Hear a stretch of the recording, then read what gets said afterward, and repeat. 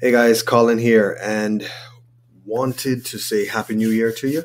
Wanted to talk to you about CRV. This is really catching my attention. Um, I wanted to actually post this like yesterday or the day before. Um, but CRV, I think, is getting ready to make a big move. Um, if we're looking at it, this is on the weekly chart, okay? The weekly chart, guys. We are now above an area that rejected us severely from August 2020. August 2020.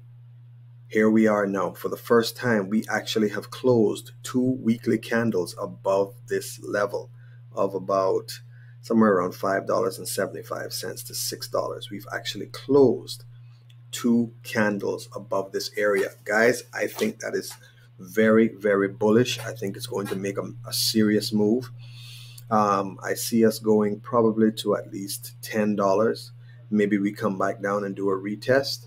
Ultimate technical target, I'm looking for a $24 CRV. That's what I'm looking for. A $24 CRV. Okay. Um, no guarantees, of course. That's just what I say I'm looking for. But as a first major move, I think maybe about $10.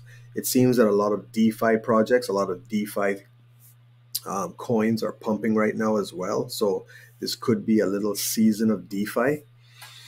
Um, but look out for that, guys. Uh, like I said, we've broken major resistance area, and this is on the weekly channel, um, weekly chart. Sorry, our RSI is looking good, and the stochastic as well is taking a strong move up. So I think there's a lot of momentum pushing this right now.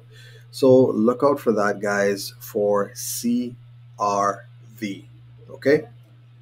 Take care, guys. Do your own research, of course. Check it out. I'm just letting you guys know what I'm doing. Um, but this chart looks very, very bullish to me. CRV. Take it easy, guys. Cool.